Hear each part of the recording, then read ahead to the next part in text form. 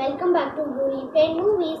If you remember, on the 10th of May, I he published a video called Paluderium. In that, I said leaves and an egg which is supposed to look like the planet WASP 12b. We'll we'll talk about that in a later video. Well, that future video is this one. WASP 12b is an egg-shaped planet. It uh, to help you understand better, I have drawn this.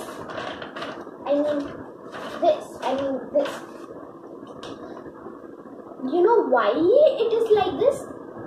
Because us on one side, WASP 12 the star is trying to pull WASP 12 the WASP 12b the planet into it.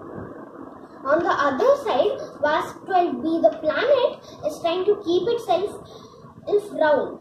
This tug of war causes it to become egg shaped.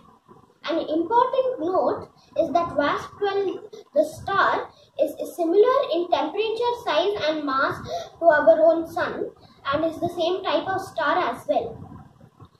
The reason why I said this is because if we did was a, of a different size, we probably wouldn't have seen this phenomenon. By the way, did you know that WASP 12b, like Jupiter, is a gas giant? But it is so hot and so close to its parent star that it is called a hot Jupiter. there are many other hot Jupiters, but none of them are as close to Oh, their parent star as WASP 12b. But scientists have drawn up a few theories for why it is so close.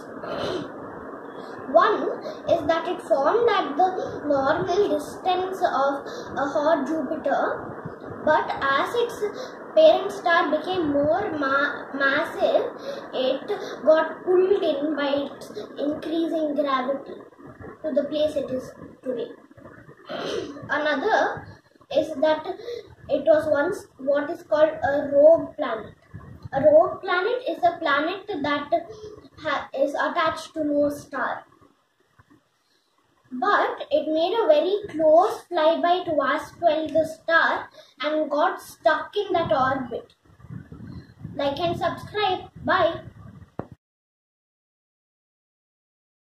By the way, did you know that WASP 12